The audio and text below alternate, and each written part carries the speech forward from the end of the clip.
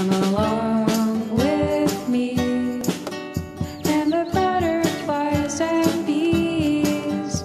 We can wander through the forest and do so as we please. Come along with me to a cliff under a tree where we can gaze upon the water as it never.